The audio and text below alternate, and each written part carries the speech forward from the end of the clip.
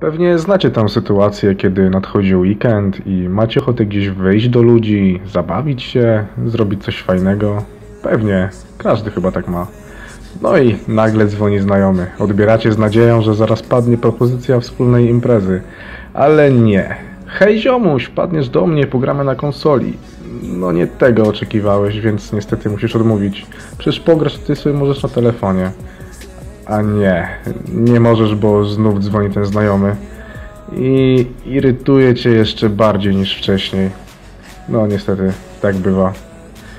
Pogrążony w smutku i samotności odbierasz kolejny telefon. I o, tu coś innego. Jakieś fluoparty? W klubie czekolada.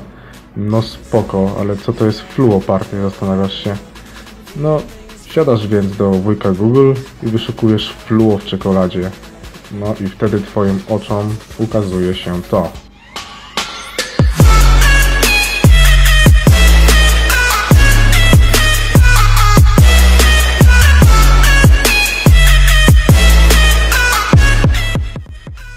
No, po czymś takim już wiesz gdzieś się bawić tej nocy.